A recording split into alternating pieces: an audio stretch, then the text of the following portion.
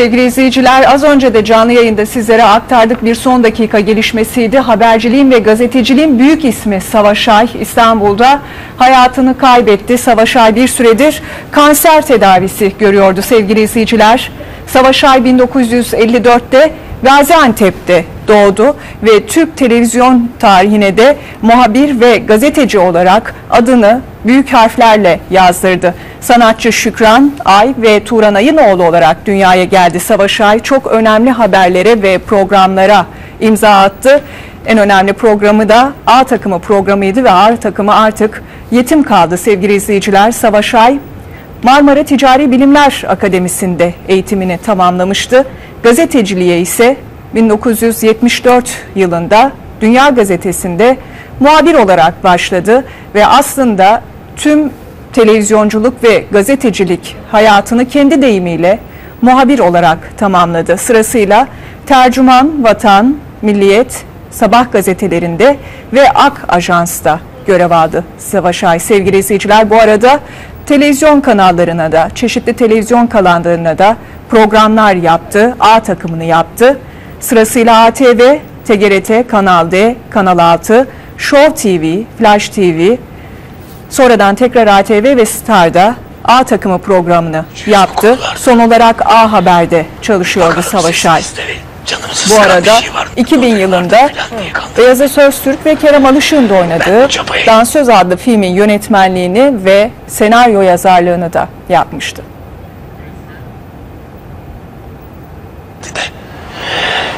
Biz de kuşkucuyuz bu konularda. Bir bakalım sesinizde ve canımızı sıkan bir şey var mı, nodül vardır filan diye kandırdı beni. Ben de Sevgili çapayı... izleyiciler e, az önce de merhum Savaş Ay'ın görüntüleri geldi. Son zamanlarda e, kanser tedavisi gördüğü için de güçlükle konuşabiliyordu. Ancak hiçbir zaman mesleğini bırakmadı yine programlarına ve haberciliğe devam etti. Az önce de Biraz daha sizlerle paylaşmıştık. Son olarak A Haber'de çalışıyordu Savaş Ay. Biraz önce de tekrarlamıştım. Başlar Savaş Ay'ın başlamaz film yönetmenliği ve senaryo yazarlığı da yaptığını belirtmiştik. Bu arada Savaş Ay'ın iki tane evladı var. Bir tanesi şarkıcı Ulaşcan Ay, diğeri ise Sanem Ay sevgili izleyiciler. Ayrıca çok önemli, başarılı sosyal programlara da imza atmıştı Savaş Ay. Yaptığı programlarla önemli ölçüde yoksullara yardımcı da olmuştu. sesinizde ve canımızı Savaş sıkan Ay bir şey son olarak A Haber'de muhabirlik yapmaktaydı. Ancak sağlık sorunları nedeniyle e, güçlükle konuşabiliyordu ve bir süredir de İstanbul'da tedavi altındaydı. Ve bugün maalesef işte tedavi gördüğü hastanede Savaşay'ı kaybettik sevgili izleyiciler. Birazdan 32. gün başlayacak. İki binanın iki kanalın arası epey bir mesafe. E başlar başlamaz da Mehmet Ali abi çıkartamadım tabii. Önce gündemden bir şeyler filan. Savaş Ay 1954 yılında doğdu demiştik sevgili izleyiciler. Gaziantep'te doğdu. Ee, çok önemli haberlere ve köşe yazılarına aynı zamanda film senaryolarına imza attı. Yaptığı programlarla birçok gazetecinin şey ve önemli muhabirin yetişmesine katkıda bulundu çapayı- Savaş Ay.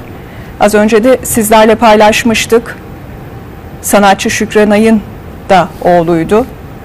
Gazeteciliğe 1974 senesinde Dünya Gazetesi'nde başladı. Muhabir olarak başladı ve Türkiye'nin çok önemli medya 32. gün kuruluşlarında ve gazetelerinde sırasıyla görev yaptı ve yaptığı programlarda her zaman halkın sesi oldu, halkın yanında oldu. Birçok programda zor durumda kalanlara yardım elini uzattı Savaş Ay ve A takımı Savaş Ay'la anılan bir programdı. E, Bütün zorluklara rağmen muhabirliği bırakmadı ve son olarak da yine. A Haber'de muhabir olarak Bakalım çalışıyordu sevgili izleyiciler. bir şey var mı, Savaş nodül Ay- vardır filan diye kandırdı beni. bir süredir gırtlak tedavisi, gırtlak kanseri tedavisi görüyordu. Son olarak da İstanbul'da yine tedavi görüyordu ve bugün maalesef tedavi gördüğü hastanede hayatını kaybetti. Aslında Savaş Ay'ın kanserle mücadelesi tam 13 yıl sürmüştü. 13 yıldır yazdığı köşe yazısında kanserle köşe kapmaca oynuyorum demişti sevgili izleyiciler. Her defasında onu alt ediyorum ve ameliyatlarım başarılı geçiyor. Yaşamı çok sevdiğim için de ölümü de sevdim ve ondan korkmadım demişti bir köşe yazısında Savaş Ay. Aslında Savaş Ay'ın gazeteciliği kadar, gazetecilik ve muhabirlikle verdiği mücadele kadar hastalığına karşı verdiği mücadelede örnek olmuştu. Ve aslında bununla ilgili çok önemli bir sır vermişti. Ona göre işin sırrı çok basitti. Teflon gibi olmak lazım. Üzerine hiçbir şey yapışmayacak. Ve annem de hastalığımı öğrendiğinde sakın üzülme demişti. Ben anne sözü dinledim diyerek işte yakalandığı kanser hastalığıyla mücadelesini bu şekilde anlatmıştı sevgili izleyiciler. Bir kez daha sizlerle paylaşalım. Usta gazeteci, muhabir, A takımının savaş abisi bugün tedavi gördüğü hastanede hayatını kaybetti. Önemli bir gazeteciydi. Çok sayıda önemli ismi de yetiştirdi. Önemli muhabirler, gazeteciler A takımından yetişti. Onların büyükleriydi, örnekleriydi sevgili izleyiciler. Yaptığı programlar her zaman büyük ilgiyle takip edildi Savaş Ay'ın ve Türkiye'de adını altın harflerle yazı, ya- kazımış bir gazeteciydi. Sanatçı bir aileden geliyordu. Gazeteciliğe Dünya Gazetesi'nde başladı. Muhabir olarak başladı ve hayatının sonuna kadar da muhabir olarak devam etti. Sırasıyla Tercüman, Vatan, Milliyet ve Sabah gazetelerinde ve Ak Ajans'ta görev aldı. Ve kanser hastalığı bile onu muhabirlikten, gazetecilikten uzak tutmadı sevgili izleyiciler. Bizi sağlığımıza kavuşturacak, aydınlatacak, ışıtacak güneşin peşindeyiz. Umuyorum ki sen o güneşe güzel gözlerin, güzel yüzün gibi en güzel şekilde kavuşacaksın kızım. Ama bizim de büyüklerin olarak içimizden bir parça olduğunu unutmayanlar olarak sana yardım etmemiz lazım. Peki Şimdi bize dönüyorum. Biz sevgili Gülenay'a nasıl yardım edeceğiz? Doktorlar bir taraftan ellerinden geleni yapıyor. Allah başımızdan eksik etmesin. Ve dualarımız, Tanrı'ya yakarışlarımız bu yönde.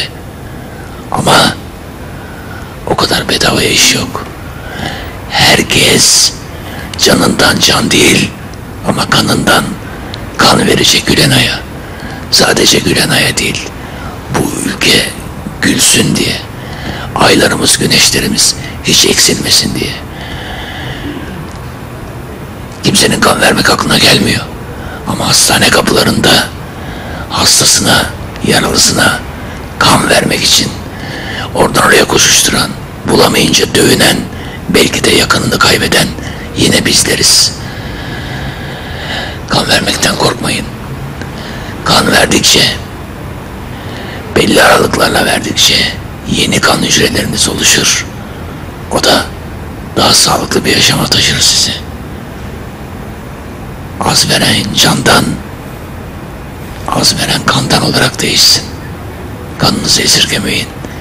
Gülen aylar gerçekten gülsün. Güle ölmüş